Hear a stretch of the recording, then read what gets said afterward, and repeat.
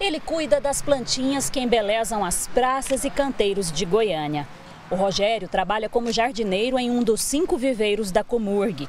E em 2019 teve uma notícia tão boa, mas tão boa como há muito tempo não tinha. Comecei a pular de alegria aqui, fiquei super feliz, avisei meus amigos, já vieram me abraçar, me deram os parabéns. E eu até hoje estou radiante de alegria. O problema na visão existe desde que o Rogério nasceu, mas foi aos 13 anos que ele começou a perder a visão aos poucos. Aos 24 anos, passou no concurso da Comurg e, mesmo com apenas 10% da visão, ele fazia de tudo nesse lugar.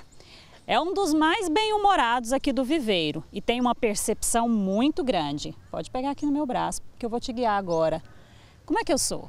Você é magra, morena, no cabelo liso e tá usando salto.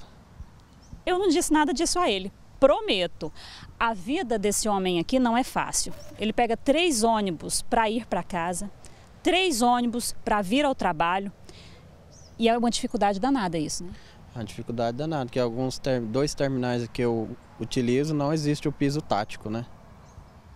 Mesmo assim, arrumava gás e disposição para estudar em casa. Hoje em dia a tecnologia ajuda nós muito, né? Que os computadores de tem um comando em voz que nós recebemos os material digitalizado e o próprio computador lê para a gente. E algumas coisas que não tinha digitalizado eu conseguia com a minha menina e com a minha esposa, que eles pesquisava, ia lendo, muitas vezes eu gravava e ficava ouvindo no pendrive, no radinho.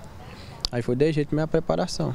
Agora vai cursar História na UFG a Ângela é amiga do Rogério e vibrou muito quando soube que ele tinha sido aprovado no vestibular de uma faculdade pública. Todos nos juntamos até ele e gritamos: parabéns, você merece, vai em frente na luta. Isso é só um começo de muita coisa boa que está por vir. O Rogério tem duas filhas e sonha que elas tenham a mesma oportunidade que ele está tendo agora.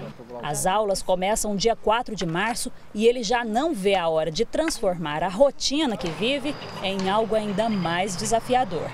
E já consegue se imaginar em cima de um palco no dia da formatura. Eu lá recebendo meu diploma e todos os meus amigos aqui da, da Comur também, eu vou, vou chamar eles para minha formatura, jogando o chapéuzinho para cima e muito forró, que eu gosto de dançar e forró.